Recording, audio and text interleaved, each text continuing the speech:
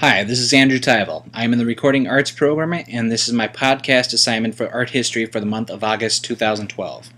My interviewee is Eric Fazzini, a fellow recording arts student here at Full Sail University and also interested in sound design for the video game industry. Question number one is What do you see as the role of visual arts in our mass mediated world, and particularly in your profession?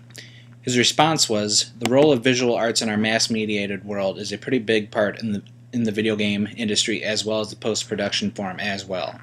In post-production, directors are looking for the per perfect camera angle or perfect shot. In video games, companies are always looking to push the graphic limits to get the best visuals for the gamers, as well as high definition for television and movies. For question number two, the question reads, With new communications and media technologies, imagery is almost instantly available. Do you believe that this is having a positive or negative influence on the industry? And provide an example.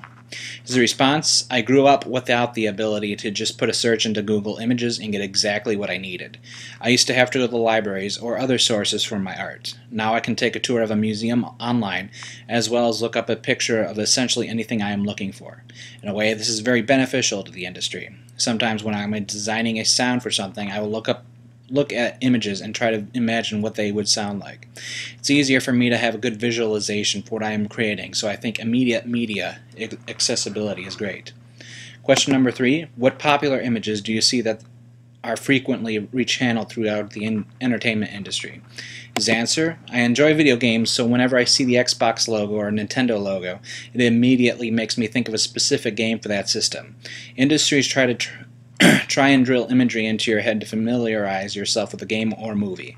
But the most popular thing that I can think of in my industry are logos for the Sony PlayStation, Xbox, and Nintendo.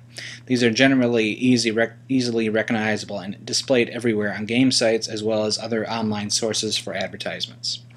The fourth question, are there particular images that the industry has popularized and or created? He replied, Our society is a very visual one. Every company has a logo or something that will entice you to get into their establishment or buy their product. The most popular video games seem to be violent, so in the commercials that they they will show the parts of the game that are more hardcore visually. The better the visual, the more likely they are going to buy to to buy the game. Question number five: Who is your one of your favorite visual artists, and or what your favorite style of visual art? He replied, Aside from my friends, I would have to say that my favorite visual artist is Don Hertzfeldt. He draws simple stick figures, but he is able to emote them so accurately that it amazes me how he does it. Though I like simplicity, I also enjoy a lot of retro art as well as Japanese animation and character drawings. And question number six, how has your knowledge of famous artwork influenced your creative process? His answer, I don't generally use famous artwork when working with a per piece per se, but when I am creating a sound or trying to play something auditory to a visual medium, it always helps me to have something to look at so I can get the ideas as to what to create for whatever it is I am working on. This has been my podcast, and thank you for listening.